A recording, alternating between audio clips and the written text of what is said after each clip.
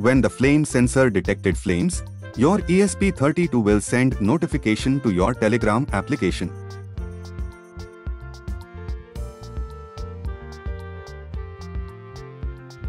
Please watch full video to make this project.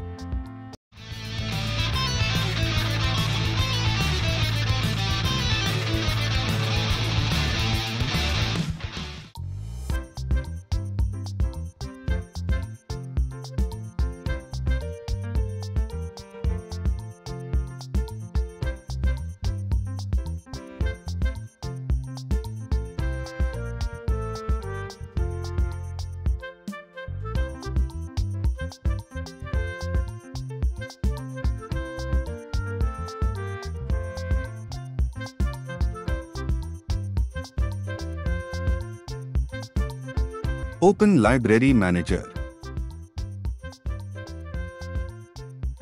Type Telegram and search Universal Telegram Library and install it.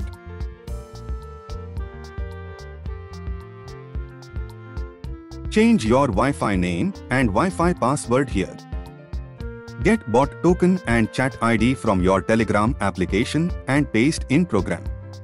If you do not know how to get bot token or chat ID, watch my previous video. Video link available in description.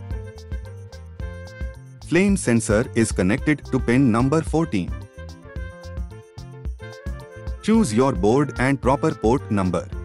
If you do not know the port number, see in Device Manager. Click Upload button to upload program to your board.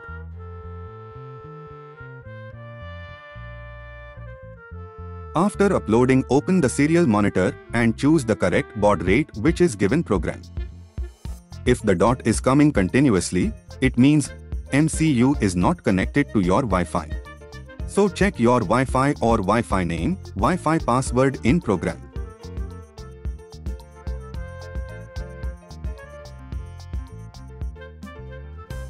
Wi-Fi is connected and see the text in serial monitor.